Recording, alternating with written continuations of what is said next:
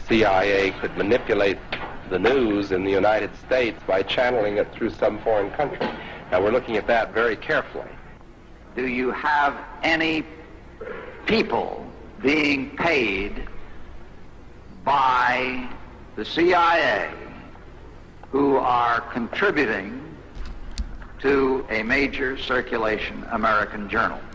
We do have people who submit pieces to other to American journals. Do you have any people paid by the CIA who are working for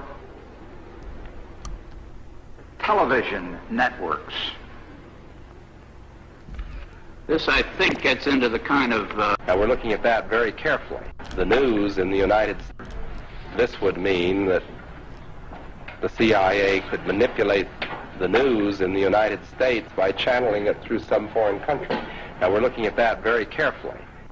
Do you have any people being paid by the CIA who are contributing to a major circulation American journal? We do have people who submit pieces to other to American journals. Do you have any people paid by the CIA who are working for television networks? This, I think, gets into the kind of uh, getting into the details, Mr. Chairman. Because uh, this would mean that the CIA could manipulate the news in the United States by channeling it through some foreign country. Now, we're looking at that very carefully. Do you have any people being paid by the CIA who are contributing to a major circulation American journal? We do have people who submit pieces to other to American journals. Do you have any people paid by the CIA who are working for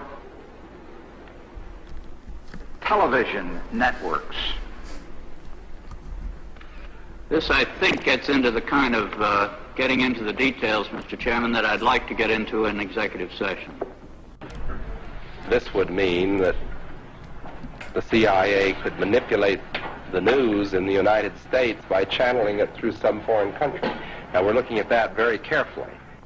Do you have any people being paid by the CIA who are contributing to a major circulation American journal? We do have people who submit pieces to other to American journals. Do you have any people paid by the CIA who are working for television networks? This, I think, gets into the kind of uh, getting into the details, Mr. Chairman, that I'd like to get into in executive session. Alors, bonjour à tous, heureux de vous retrouver, chers amis, que j'aime, que j'aime cet extrait-là. Heureux de vous retrouver sur YouTube en ce début de semaine 6 juin 2022, 18h04, heure du Québec. J'espère que vous allez bien, même si ça va très très mal, mais rassurez-vous, ça va aller de plus en plus mal.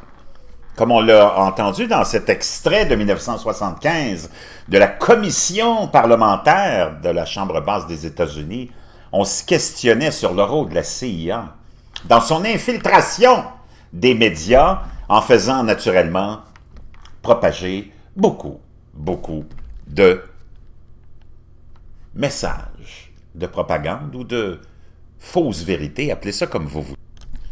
Et juste pour citer William Casey, qui était un ancien directeur de la CIA, avec certaines, de ses phrases les plus célèbres, et elles sont les suivantes. Nous saurons que notre programme de désinformation est terminé lorsque tout ce que le public américain croit est faux.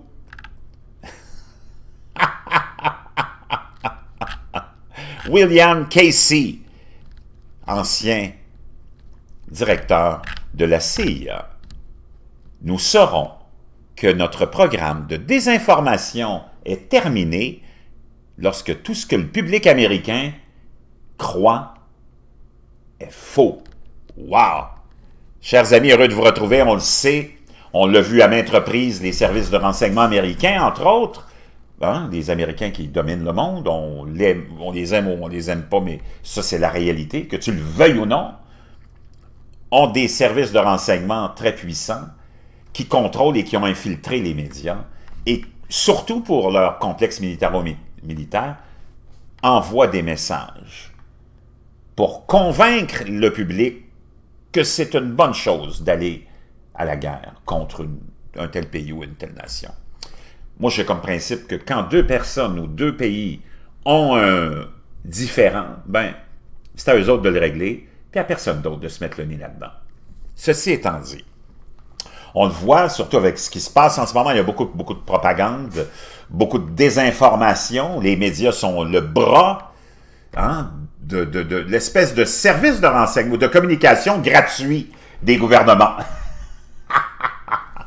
et on leur transmet, et comme ça a été dit dans cette commission de 1975, on l'a admis, il y a des agents de la CIA à l'époque et aujourd'hui qui, premièrement, donnent des informations et des documents et des rapports et des papiers qu'on veut voir publiés aux médias, et on a aussi des employés de la CIA et du FBI qui travaillent et qui sont payés par le, CIA et le, FBI et qui sont payés par la télévision et qui travaillent pour les réseaux de télé.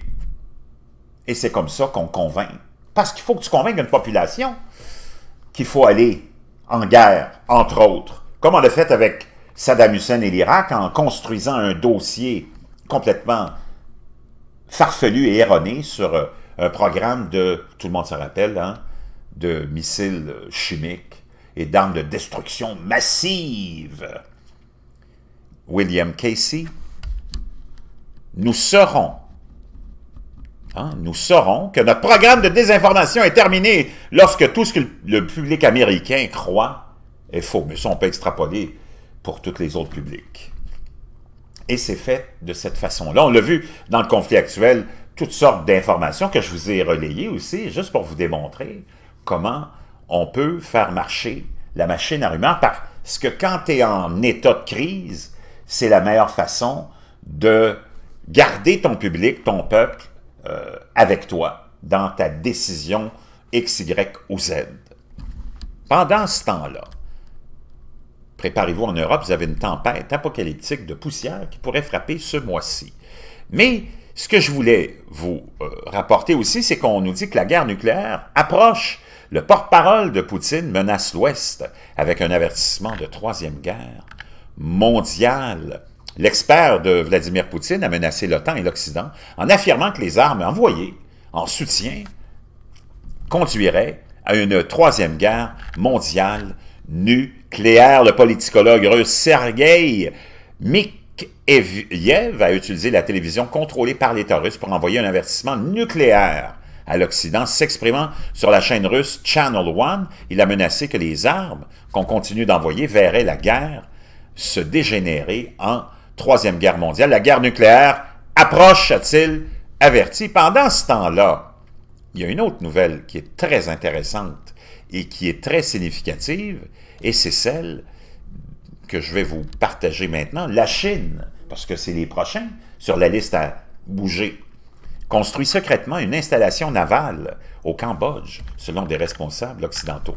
Donc, la Chine, d'ailleurs, tu ne peux pas avoir d'informations vraiment qui proviennent de la Chine, il faut que ça vienne d'ailleurs. La Chine construit secrètement une installation navale au Cambodge à l'usage exclusif de son armée, les deux pays niant que ce soit le cas, et prenant des mesures extraordinaires pour dissimuler L'opération, ont déclaré des responsables occidentaux. La présence militaire se fera dans la partie nord de la base navale cambodgienne de Ream, dans le golfe de la Thaïlande, qui devrait être le site d'une cérémonie d'inauguration cette semaine, selon les responsables qui, comme d'autres, se sont exprimés sous couvert d'anonymat en raison de la sensibilité, naturellement, du sujet. L'établissement d'une base navale chinoise au Cambodge, seulement son deuxième avant-poste à l'étranger et son premier dans la région stratégiquement importante de l'Indo-Pacifique, fait partie de la stratégie de Pékin pour construire un réseau d'installations militaires à travers le monde à l'appui de ses aspirations à devenir une véritable puissance mondiale, un peu comme les Américains l'ont fait au fil des décennies.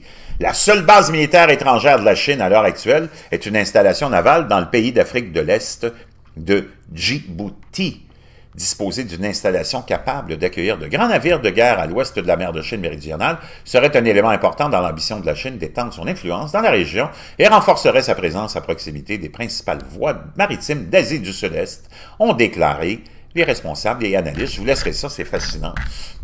Juste pour vous dire que préparez-vous, parce que c'est certain qu'en ce moment, de toute façon, l'information, c'est pas de tes médias que tu vas les avoir, les vrais, puis tu ne sais pas ce qui se passe non plus, parce que, comme le disait William Casey, nous saurons que notre programme de désinformation est terminé lorsque tout ce que le public américain croit est faux.